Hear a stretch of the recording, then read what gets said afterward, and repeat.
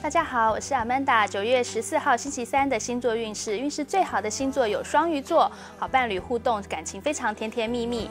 摩羯座的朋友们人气见长，好事业是非常的顺利。水瓶座的朋友们投资获利是一个能够得到收成的时刻。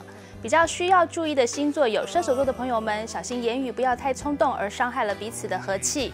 狮子座的朋友们会陷入一种理想与现实之间的交结，好陷入一种两难的这个局面。那么各星座的幸运数字及颜色呢？火象星座数字是零，幸运颜色是咖啡色；土象星座是七，幸运颜色是蓝色；风象星座是二，幸运颜色是银色；水象星座是二，幸运颜色是淡紫色。